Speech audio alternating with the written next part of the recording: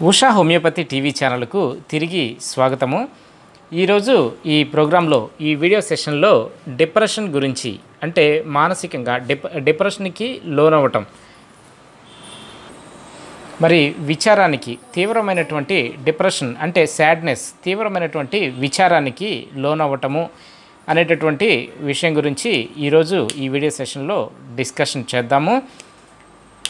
ముందుగా మరి వ్యూవర్స్కి ఉషా హోమియోపతి టీవీ ఛానల్ వ్యూవర్స్కి ఒక మనవి. మీరు గనక ఇప్పటి వరకు మా ఛానల్ ఉషా హోమియోపతి టీవీని సబ్స్క్రైబ్ చేసుకోకుండా ఉన్నట్లయితే తప్పకుండా సబ్స్క్రైబ్ చేసుకోండి. మరి పక్కనే ఉన్నటువంటి బెల్ ఐకాన్ని యాక్టివేట్ చేసుకోండి.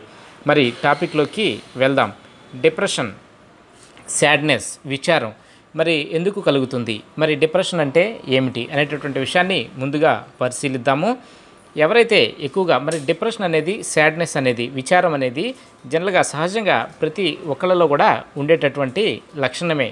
కానీ మరి ఇది ఈ విచారం అనేది మరి ఇన్వాలంటరీగా దాన్ని కంట్రోల్ చేసుకోలేకుండా ఉన్నట్లయితే మరి రెండు వారాల కన్నా ఎక్కువగా గనక ఈ విచారం అనేది డిప్రెషన్ విచారం అనేది ఉన్నట్లయితే మరి దాన్ని మెడికల్గా దాన్ని డిప్రెషన్ కింద పరిగణించాల్సినటువంటి అవసరం ఉంటుంది. మరి ఈ డిప్రెషన్కి లోనైనటువంటి వ్యక్తులు వీళ్ళలో ఎక్కువగా ఇరిటబిలిటీ అనేది ఎక్కువగా ఈ చికాకు కోపం అనేది మరి స్థిమితం లేకుండా ఒక పని చేయటానికి ఎక్కువగా ఇష్టం లేకుండా ఉంటుంది. వీళ్ళు బ్రెయిన్ని అప్లై చేయలేరు. ఈ మైండ్ని అప్లై చేసి ఏ పని కూడా చేయలేరు అనమాట వీళ్ళలో తీవ్రమైనటువంటి రెస్ట్లెస్నెస్ మనం ఎక్కువగా చూడవచ్చు. ఏ పని మీద కూడా మరి ఇంట్రెస్ట్ అనేది ఉండదు. మరి ఎక్కువగా వీళ్ళు ఒంటరిగా ఉండటానికే ఇష్టపడతారు. మరి సొసైటీలో కలవటానికి ఇష్టపడరు. మరి అది కాకుండా ఎక్కువగా వీళ్ళలో ఈ సూసైడల్ థాట్స్ అనేది ఎక్కువగా వస్తూ ఉంటాయి. మరి ఇక కంటిన్యూస్ సూసైడల్ థాట్స్ ఉండి మరి వాళ్ళలో కనుక కంటిన్యూస్గా ఇరిటబిలిటీ కోపం చికాకు ఇలాంటి లక్షణాలు కంటిన్యూస్గా వారాల తరబడి కంటిన్యూస్గా అలాంటి లక్షణాలు గనక ఉన్నట్లయితే వాళ్ళను డిప్రెసివ్ పేషెంట్స్గా డిప్రెషన్కి గురైనటువంటి ఈ పేషెంట్స్గా మనం పరిగణించాల్సినటువంటి అవసరం ఉంటుంది. మరి ఈ డిప్రెషన్తో ఉన్నటువంటి పేషెంట్స్లో మరి ఈ సెక్షువల్ డిజైర్స్ కూడా తక్కువగా ఉంటాయి.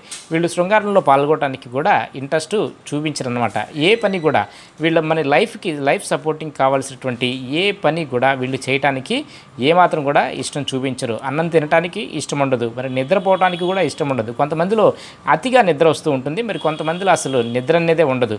మరి ఇవన్నీ కూడా డిప్రెషన్ లక్షణాలుగానే పరిగణించాల్సినటువంటి అవసరం ఉంటుంది. మరి ఈ డిప్రెషన్ అనేది ఎందుకు కలుగుతుంది? మనం ఈ డిప్రెషన్ కలగటానికి ముఖ్యమైనటువంటి కారణాలు ఏమిటి అని కనుక మనం పరిశీలించినట్లయితే ముఖ్యంగా ఈ డిప్రెషన్ మనం మెడికల్గా ఆలోచించినట్లయితే మరి రీసెర్చర్స్ ఎక్కువ మంది చెప్పేది రీసె సైంటిస్ట్ చెప్పేది ఏమిటంటే ఈ ఈ బ్రెయిన్లో ఉన్నటువంటి ఈ కెమికల్స్ మరి న్యూరో ట్రాన్స్మిటర్స్ అంటాము అంటే బ్రెయిన్లో నెర్వ్ సెల్ నుంచి ఒక నెర్వ్ సెల్ నుంచి ఇంకొక నెర్వ్ సెల్కి సిగ్నల్స్ తీసుకునేటటువంటి వ్యవస్థ. ఈ వ్యవస్థలో ఈ ఈ నెర్వ్ సెల్స్ నుంచి ఒక ఒక నెర్వ్ సెల్ నుంచి వేరొక నెర్వ్ సెల్కి సిగ్నల్ తీసుకువెళ్ళటానికి న్యూరో ట్రాన్స్మిటార్స్ అనేటటువంటి ఈ కెమికల్స్ ముఖ్యమైనటువంటి ఈ పాత్రను పోషిస్తాయి. మరి ఈ న్యూరో ట్రాన్స్మిటార్స్లో ఈ నెర్వ్ సిగ్నల్స్లో ఒక దగ్గర నుంచి ఒక దగ్గరికి సిగ్నల్స్ని ట్రావెల్ చేయటానికి వాటిలో ఉన్నటువంటి ఇబ్బందుల కారణంగా మరి ఈ డిప్రెషన్ అనేది గురవ్వచ్చు అనేటటువంటి ఒక మెడికల్ రీసెర్చ్ స్టడీ అనేది చేయటం అనేది జరిగింది. మరి ఈ ఇది జెనటికల్ కారణాలు కూడా. మరి డిప్రెషన్ మీ పేరెంట్స్ కనుక ఇద్దరు కనుక డిప్రెషన్తో ఉన్నట్లయితే మరి పిల్లలకు ఎక్కువగా ఆ డిప్రెషన్ వచ్చేటటువంటి అవకాశం ఉంటుంది. హెరిడిటీ జెనెటిక్ టెండెన్సీ కూడా ఈ డిప్రెషన్ రావడానికి ఎక్కువగా కారణమవుతుంది. మరి కంటిన్యూస్గా ఫెయిల్ అవటం కంటిన్యూస్గా వాళ్ళకి సంబంధించినటువంటి వ్యక్తులు ఆ, గనక దూరమైనట్లయితే వాళ్ళు గనక దూరం అంటే బాగా లౌడ్ వన్స్ బాగా ప్రేమి మీరు ప్రేమించేటటువంటి వ్యక్తులు కంటిన్యూస్గా ఒకదాని ఒకరి తర్వాత ఒకరు దూరం అవుతూ ఉన్నట్లయితే మరి అలాంటి దాని అలాంటి చర్యల వల్ల కూడా. లేదంటే కంటిన్యూస్గా బిజినెస్లో ఫెయిల్యూర్స్ జరుగుతున్నట్లయితే మరి లైఫ్ ఈవెంట్స్లో కనుక ఈ ఫెయిల్యూర్స్ అనేది జరుగుతున్నట్లయితే మరి అలాంటి కేసుల్లో కూడా ఈ డిప్రెషన్ అనేది రావడానికి కారణం ఉంటుంది. మరి ఈ డిప్రెషన్ ఆ ప్రతి కేసులో even whatever the cause cause ఏమైనప్పటికీ కూడా మరి ప్రతి కేసులో కూడా డిప్రెషన్ రావాలనేది లేదు. మరి కొంతమంది ఈ డిప్రెషన్ నుంచి బయటపడి అతి తక్కువ టైంలోనే కోలుకోవటం అనేది జరుగుతుంది. కానీ ఎవరిలో అయితే ఈ బ్రెయిన్లో న్యూరో ట్రాన్స్మిటర్స్లో డిఫెక్ట్స్ నెర్వ్ సెల్ సిగ్నల్స్ పాసేజ్లో డిఫెక్ట్స్ ఎవరిలో అయితే ఉంటాయో వాళ్ళు ఈజీగా ఈ డిప్రెషన్కి గురయ్యేటటువంటి అవకాశం ఉంటుందని మనకు రీసెర్చ్ స్టడీస్ ఎక్కువగా చెప్తా ఉన్నాయి. మరి హోమియోపతి యొక్క పాత్ర ఏమిటి? ఈ డిప్రెషన్ని క్యూర్ చేయడానికి హోమియోపతి ఏ విధంగా సహాయం చేయగలదు? హోమియోపతిలో చాలా అద్భుతమైనటువంటి హోమియోపతి మందులు ఉన్నాయి. ఇంతకుముందు నేను చాలా వీడియోస్లో చెప్పి ఇంతకుముందు ఈ హోమియోపతి ఏ విధంగా పనిచేస్తుంది అనేటటువంటి వీడియోలో నేను క్లియర్గా చెప్పాను. హోమియోపతి ముఖ్యంగా ఈ నెర్వ్ సెల్స్ మీద ఈ సిగ్నల్ వ్యవస్థ మీద ఈ యాక్షన్ పొటెన్షియల్స్ మీద న్యూరో ట్రాన్స్మిటర్స్ మీద ఎక్కువగా దాని యొక్క ప్రభావాన్ని చూపిస్తుంది.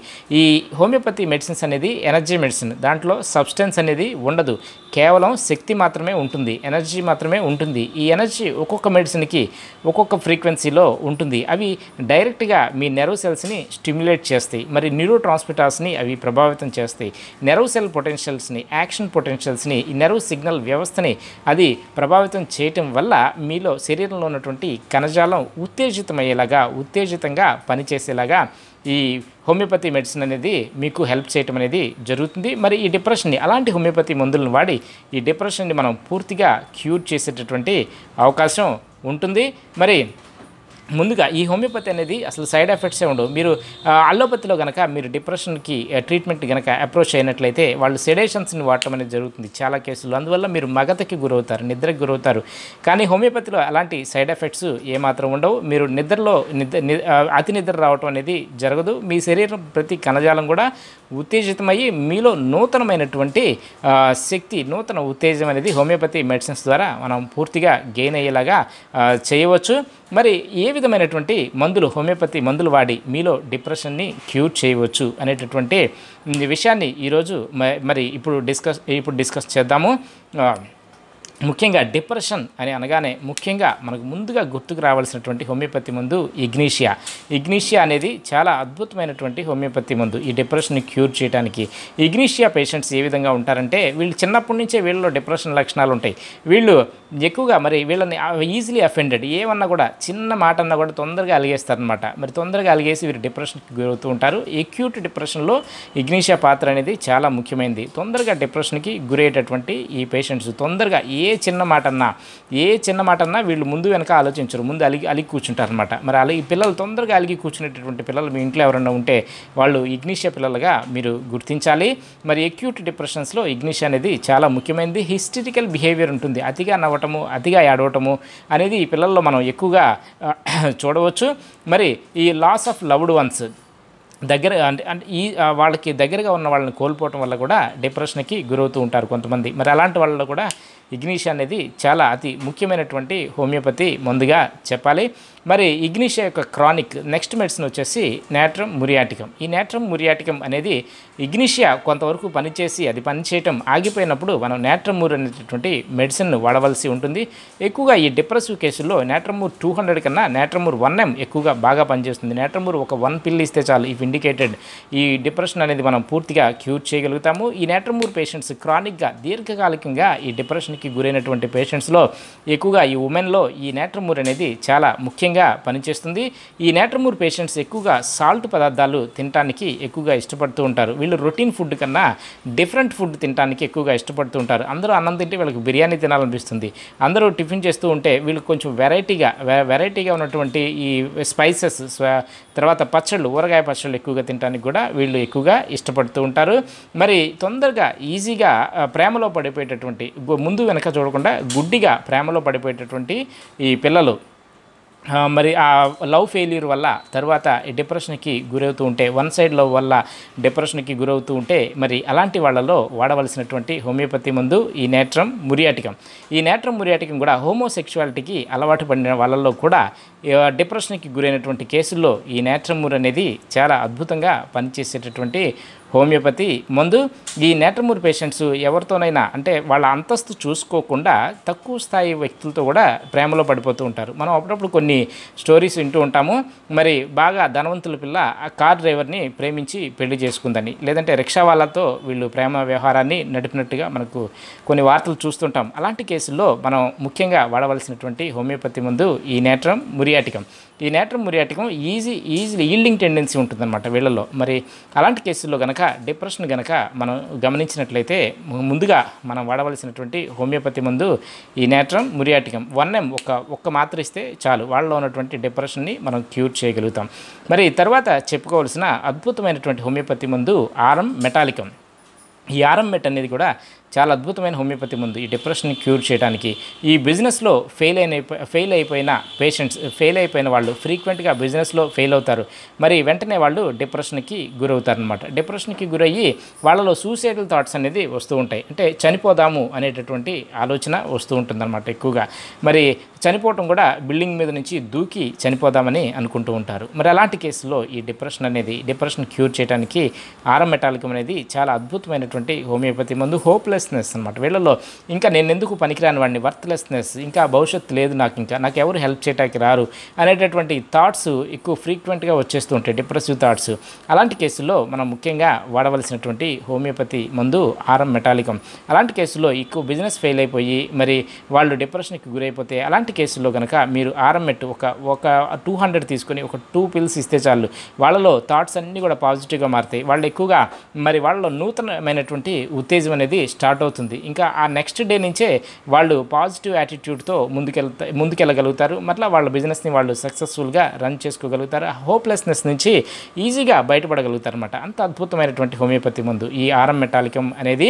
తర్వాత ఈ డిసీజెస్ దీర్ఘకాలికంగా డిసీజెస్ తగ్గకుండా మన దగ్గరకు వస్తూ ఉంటారు. ఈ రుమటాయిడ్ ఆర్థరైటిస్ నుంచి లేదంటే ఇంకా హెచ్ఐవి నుంచి లేదంటే క్యాన్సర్ కేసుల నుంచి ఎక్కువగా మరి తగ్గకుండా ఆ డిసీజ్ ఎంతకాలం నుంచి కూడా అసలు తగ్గకుండా డిప్రెషన్కి గురైపోతారు. ఇంకా చనిపోదామా అనేటటువంటి ఆలోచనలు వీళ్ళలో ఫ్రీక్వెంట్గా వస్తూ ఉంటాయి. మరి అలాంటి కేసుల్లో ఈ ఆరంబెట్టి కనుక ఒక టూ పిల్స్ ఇచ్చినట్లయితే వాళ్ళలో ఒక నూతన ఉత్తేజం అనేది స్టార్ట్ అయ్యి ఆ డిసీజ్ అనేది ఆటోమేటిక్గా తగ్గటం అనేది చాలా కేసుల్లో కూడా గమనించడం జరుగుతుంది.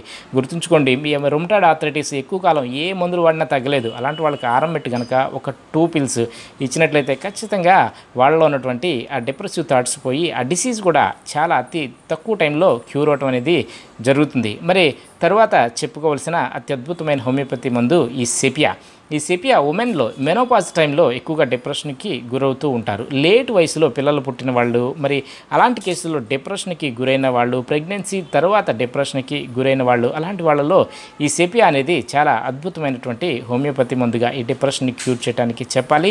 వీళ్ళు వీళ్ళు చాలా ఇండిఫరెంట్గా ఉంటారు. వీళ్ళు ఎవరినైతే ప్రేమిస్తారో వీళ్ళ కుటుంబ సభ్యులతో అంటి ముట్టినట్టుగా ఉంటారు. వాళ్ళంటే చాలా ఇష్టం వీళ్ళకి. కానీ వాళ్ళతోనే అంటి ముట్టినట్టుగా ఉంటారనమాట మరి అలాంటి కేసుల్లో ఈ సెపియా అనేది చాలా అద్భుతమైన హోమియోపతి మందు. వీళ్ళ ఎక్కువగా యూట్రైన్ కంప్లైంట్స్ ఉంటా ఉంటాయి అనమాట యూట్రస్ జారిపోతుందా అన్నట్లు అలాంటి ఫీలింగ్స్ ఉంటా ఉంటాయి వీళ్ళల్లో.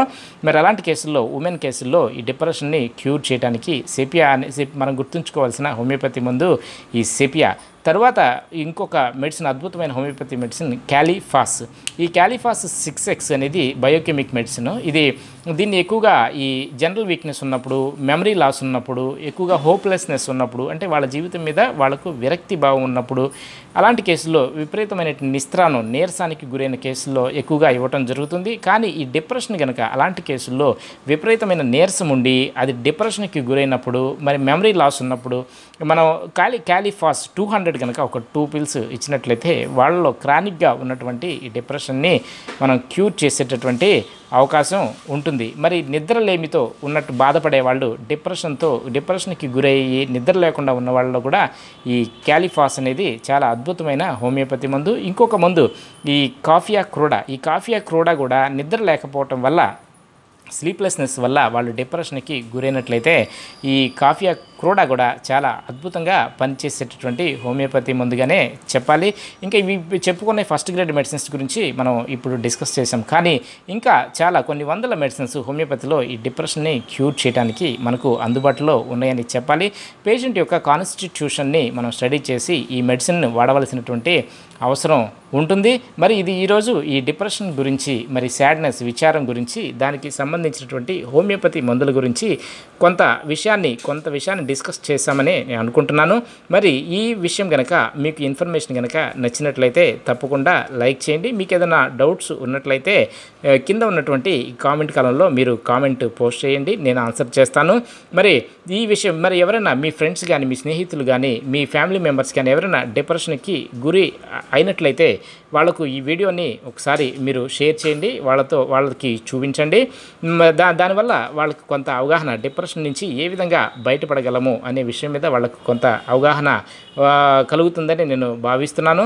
మరి మీరు కనుక ఇప్పటివరకు మా ఛానల్ ఉషా హోమియోపతి టీవీని సబ్స్క్రైబ్ చేసుకోకుండా ఉన్నట్లయితే తప్పకుండా సబ్స్క్రైబ్ చేసుకోండి. మరింత మందితో సబ్స్క్రైబ్ చేయించండి. మర్చిపోకుండా పక్కనే ఉన్నటువంటి బెల్ ఐకాన్ని యాక్టివేట్ చేసుకోండి. మరింత సమాచారం కోసం మా website WWW dot homeo research dot కామ్ని తప్పకుండా శోధించండి. తిరిగి వేరొక వీడియో సెషన్లో మరలా కలుద్దాము. అంతవరకు సెలవు